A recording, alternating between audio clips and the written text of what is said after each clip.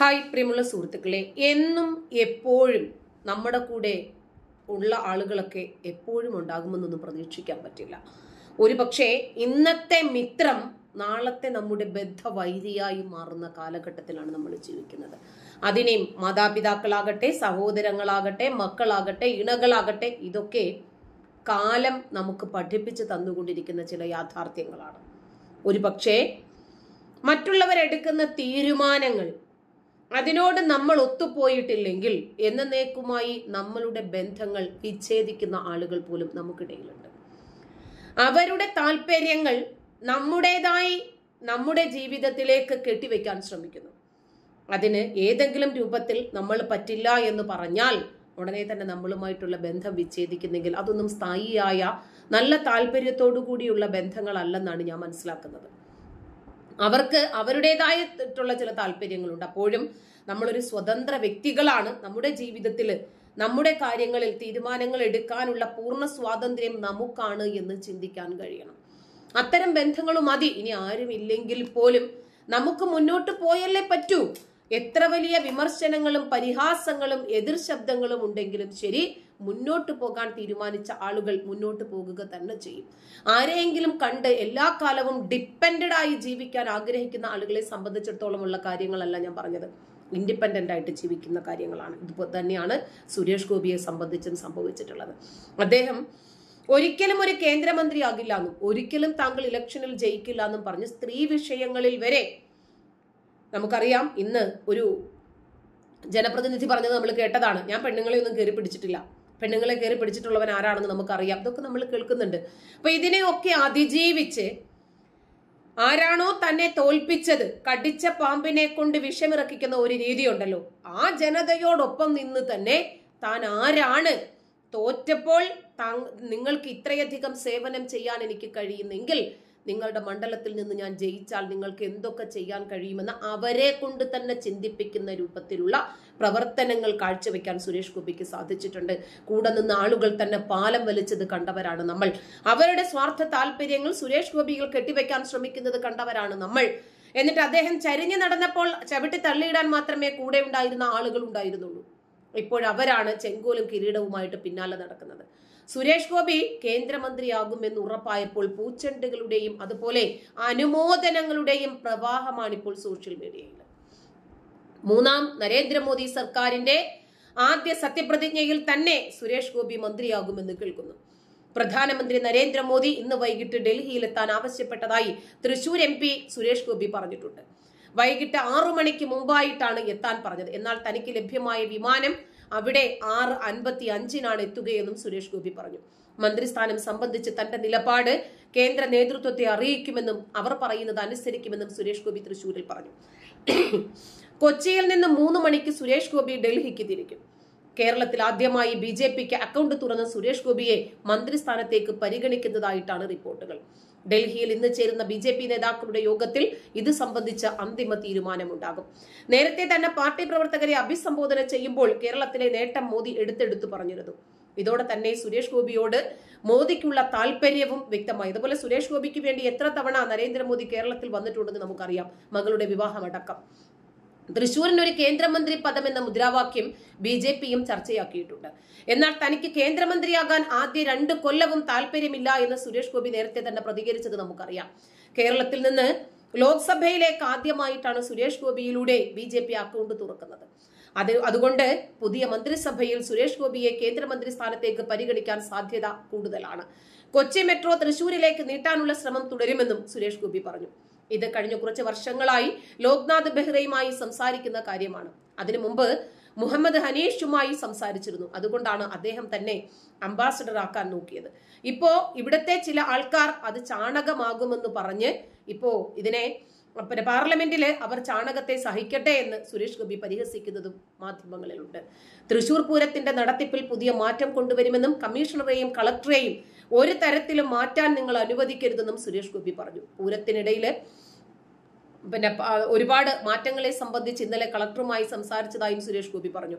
തൃശ്ശൂരുകാർ എന്നെ തെരഞ്ഞെടുത്താൽ തൃശ്ശൂരിനെ തൃശൂരിൽ മാത്രം എന്റെ സേവനം ഒതുങ്ങി നിൽക്കില്ല. ഞാൻ നേരത്തെ പറഞ്ഞതാണ്.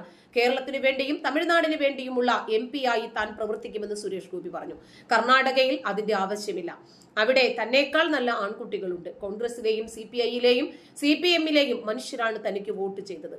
എസ് ഡി പി ഐയിലെയും മനുഷ്യർ തനിക്ക് വോട്ട് ചെയ്തിട്ടുണ്ട്. കപടതയില്ലാത്ത മതേതരവാദികളാണ് തന്നെ ജയിപ്പിച്ചതെന്നും സുരേഷ് ഗോപി പറഞ്ഞു. ഇതാണ് ഒരു മനുഷ്യൻ.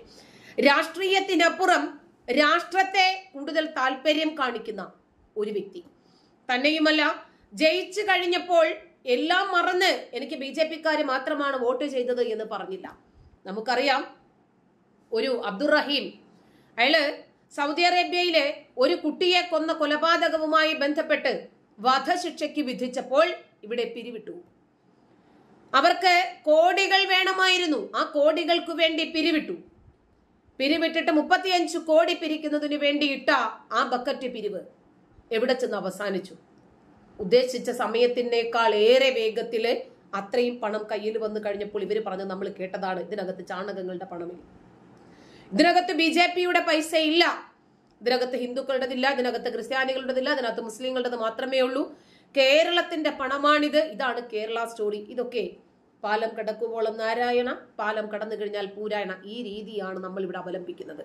ഇതിൽ ഒരു പക്ഷേ സൗദി അറേബ്യയിലെ പോലും നല്ലവരായ മനുഷ്യ സ്നേഹികളുടെ പണമുണ്ട്.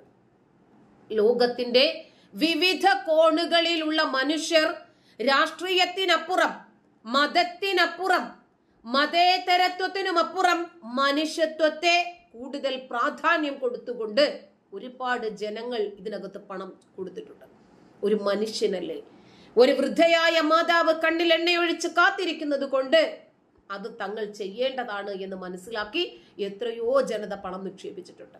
എന്നിട്ട് പണമിട്ട് നമ്മുടെ കാര്യം കഴിഞ്ഞപ്പോൾ നിങ്ങളുടെ പണമൊന്നുമില്ല. ഇതിനു മുമ്പ് ഞാനൊരു വ്യക്തിക്ക് വേണ്ടിയിട്ട് ഫണ്ട് പിരിച്ചിരുന്നു. അവരുടെ അക്കൗണ്ട് തന്നെയാണ് കൊടുത്തത്. അയാൾ ആക്സിഡന്റിൽ പെട്ട് കിടക്കുകയായിരുന്നു ഇതൊക്കെ കഴിഞ്ഞ് അവർ ഉദ്ദേശിക്കുന്ന പണം അവർ ഉദ്ദേശിച്ച പണം വളരെ കുറഞ്ഞ സമയം കൊണ്ട് അവരുടെ അക്കൗണ്ടിൽ വന്നു കഴിഞ്ഞപ്പോൾ അവർക്ക് അവർ പോലും അറിയാതൊരു അഹംഭാവം വന്നു.